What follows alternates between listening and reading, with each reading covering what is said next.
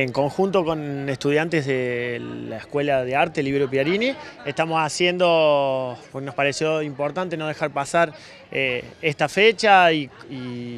reflexionar no solo sobre lo que pasó, sino sobre, sobre la actualidad de la, soberanía de nuestro país. Bueno, los chicos eh, se sumaron a hacer un, mural en un espacio tan transitado como es el, comedor, una creación colectiva, diseños que, estuvieron pensando colectivamente y bueno, eh, es nuestra humilde manera de traer a la memoria a los caídos, a los, los excombatientes que por ahí eh, son olvidados, son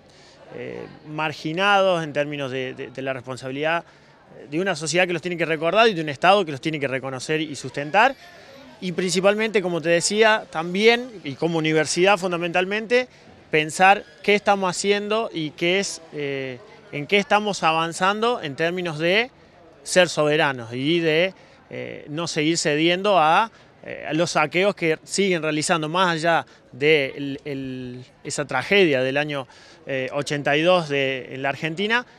el saqueo sistemático sigue, sigue, sucediendo sobre los recursos de nuestra, de nuestra Patagonia y, en general con la, extracción de recursos. Bueno, la universidad nos parece que tiene que tener en la memoria esto, pero para actuar en el presente también y ser cada día más soberano. Nos invitó una compañera que bueno, nos contó que más o menos íbamos a hacer un mural sobre las Islas Malvinas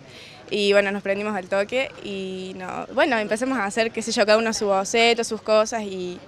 y bueno, y trajimos las ideas y dijimos, bueno, sí, esta sí, esta no, cómo podemos unirlas, juntarlas. ¿Cuál es la importancia de utilizar el arte como medio de comunicación y en este caso como un recordatorio para mantener la memoria? Y la verdad que me parece algo muy importante. Bueno, nosotros eh, nos expresamos así a través del arte y yo creo que eh, uno puede decir mucho eh, más que con un dibujo, que una imagen vale más que mil palabras y bueno, qué sé yo, me parece que es muy importante.